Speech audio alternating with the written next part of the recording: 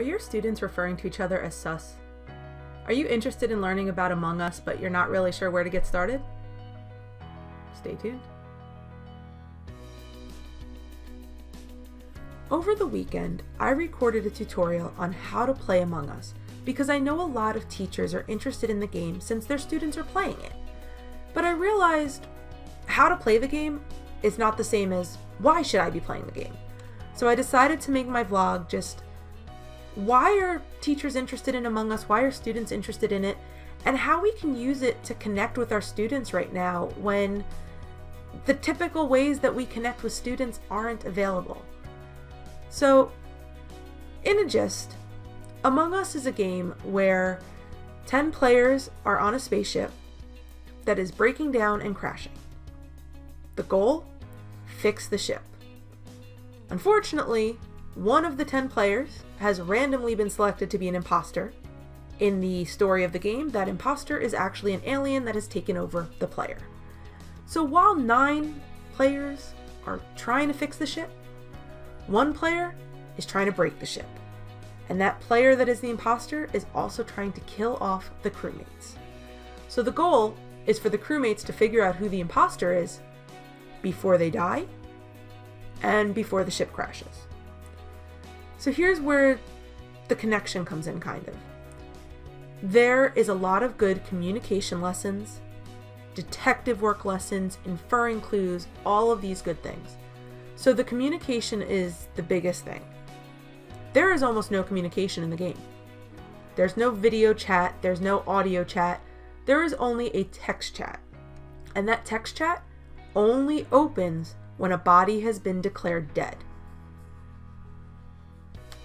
can't talk the whole game, so you can't tell if someone is suspicious.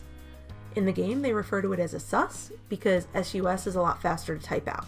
So that's where your students are sometimes calling each other sus. It's short for suspicious, which is short for imposter.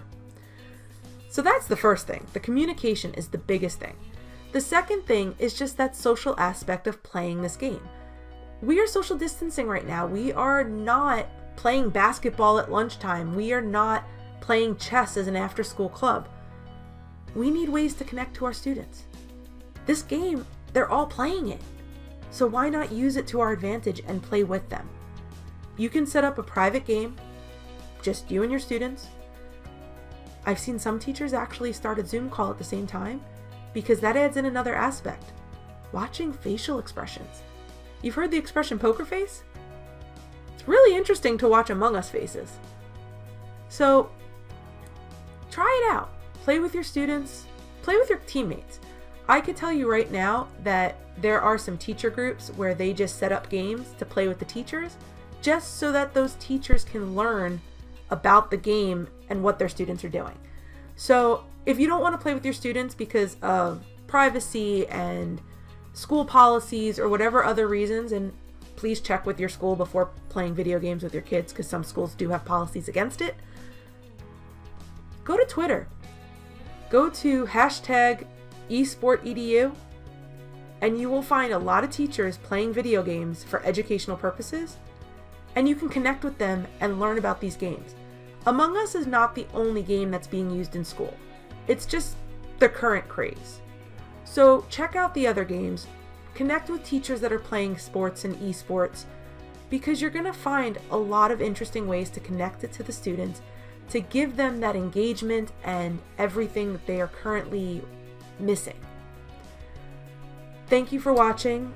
I appreciate that. If you want to leave a comment with videos that you want me to make, so any tutorials that you're interested in, leave a comment below and let me know. If you didn't watch the how to play Among Us and you're interested in it, check it out over here. It's about 9 minutes long, but you can fast forward through parts. I tried to make it compact but have as much in it as I could. So thank you guys so much. Don't forget to hit the subscribe button and I'll see you next time.